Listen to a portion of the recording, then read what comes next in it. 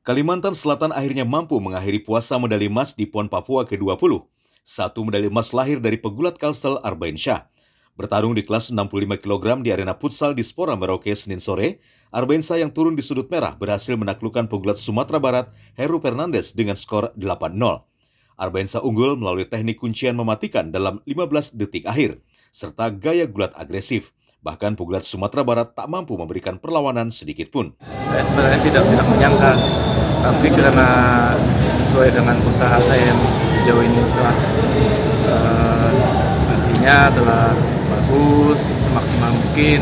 Alhamdulillah saya bisa memberikan yang terbaik untuk bumi Kalimantan Selatan. Dan alhamdulillah saya mendapatkan medali emas karena untuk uh, anak dan istri saya. Atas torehan satu medali emas ini, Kalsel dipastikan naik peringkat di posisi 24 untuk klasemen sementara PON 20 di Papua. Dari Banjarmasin, Alip Hidayatullah, K1 Net.